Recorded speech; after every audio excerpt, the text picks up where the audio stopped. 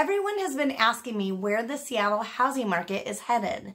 And while I don't have a crystal ball to tell you exactly what is going to happen, I can give you an idea of why we're seeing the market change as we shift away from the frenzy of the past few years.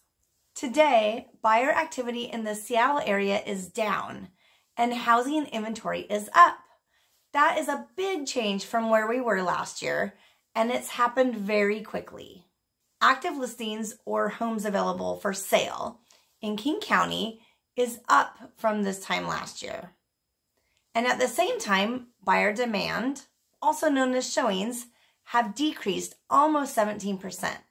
We call this an inflection point. Over the past two years, we saw a massive amount of demand and not enough homes available for the number of people who wanted to buy them. Today, the Seattle housing market looks very different as those two factors undergo a shift. So what's the bottom line?